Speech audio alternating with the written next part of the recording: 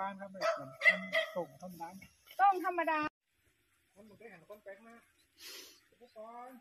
เฮ้ยเฮ้ยเฮ้ยเฮ้ยเฮ้ย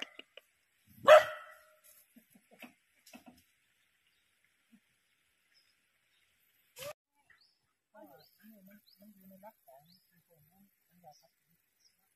แล้วแล้วนี่เขาก็มาถึงส่วน อันไอ้พรเนาะ มมาจากพวกผักกันหนักว่าผมห้องไม่ผ่านหลวง อ๋อ นี่กล้วยผักเลยที่ที่เขาพามาสองรอบเออที่แต่ห้วยผ่านหลวงมันมาจากผักกันหนัก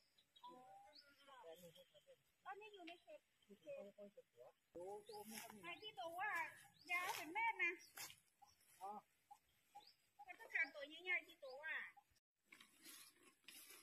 พวกฝุ่นไงสุด ไม่ไม่โกนี่นะ อันนี้ประมาณกี่คนออมเนี่ยสามเมตรครับสามเมตรนี่เนาะมันใหญ่ตึกจะเป็นสามเมตรพุ่นนะตัวตัวโป้นี่มีสองสามเมตรคุณนายมีลักษณะจะไรฮะเขาของมันเนี่ยคือว่าหน้า เขามันจะงามกว่าดินว่าใจหมายผมหมายผมบอกความสูงอาจจะประมาณสักสองสองถึงสามเมตรอะความท่านวดของมันน่ะนะเยอะมากอะถ้าหน้าฝนอะ ของอันพูดทางว่าเสียผมเสียเนี่ยมันประตูมันเดี๋ยวก่อนคดไปเข้าไปตอนนั้นมีมีสองตัวนะครับที่กันนั่นน่ะคดไปมันมันอันนี้อันนี้ดูมันนี่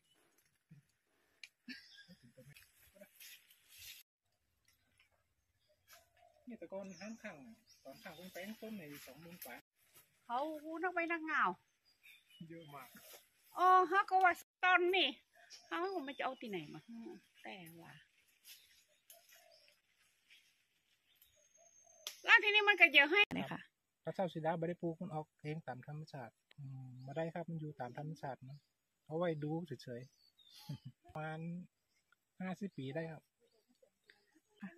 อืมนี่ไม่นี่เขาตัดมาได้ แต่ว่าเขาจะปลูกไว้ปล่อยขังครับ